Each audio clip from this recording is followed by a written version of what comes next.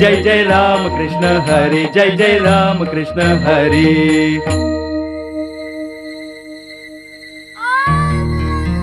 दवाखान्यात न्यायचं ताईला? थोरलीच्या वेळी घरी बाळणपण केलं ती चूक पुण्यांदा करायची नाही.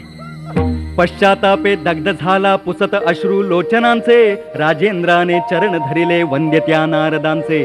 मग नारद मुनींनी त्या मध्वराजाला पोटाशी धरला आणि म्हटलं झाल्या चुकीबद्दल तुला पश्चाताप झाला हे चांगलं झालं पण तशी चूक पुन्हा करू नकोस. इथं समोर आपल्या रामरावांचं ताजच उदाहरण आहे. अहो या नरदेहाला जन्माला घालणं म्हणजे किड्या मुंगीला जन्माला घालणे इतकं सोपं नाही. बाळंतपणाच्या वेळी स्वच्छतेची योग्य काळजी न घेतल्यामुळं किंवा इतर काही अडचण आल्यास जन्माला येणारा नाजूक जीव दगावू नये म्हणून महाराजा रामरावांनी धाकल्या मुलीचं बाळंतपण दवाखान्यात करण्याचा निर्णय घेतला.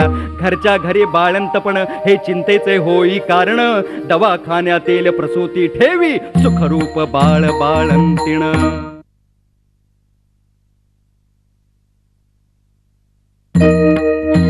जय जय राम कृष्ण हरी जय जय राम कृष्ण हरी.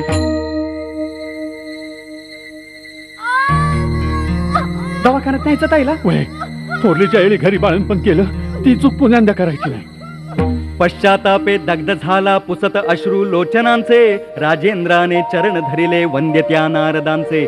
मग नारद मुनींनी त्या मध्वराजाला पोटाशी धरला आणि म्हटलं झाल्या चुकीबद्दल तुला पश्चाताप झाला हे चांगलं झालं पण तशी चूक पुन्हा करू नकोस. इथं समोर आपल्या रामरावांचं ताजच उदाहरण आहे. अहो या नरदेहाला जन्माला घालणं म्हणजे किड्या मुंगीला जन्माला घालणे इतकं सोपं नाही. बाळंतपणाच्या वेळी स्वच्छतेची योग्य काळजी न घेतल्यामुळं किंवा इतर काही अडचण आल्यास जन्माला येणारा नाजूक जीव दगावू नये म्हणून महाराजा रामरावांनी धाकल्या मुलीचं बाळंतपण दवाखान्यात करण्याचा निर्णय घेतला.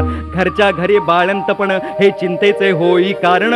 दवाखान्यातील प्रसूती ठेवी सुखरूप बाळ बाळंतीण.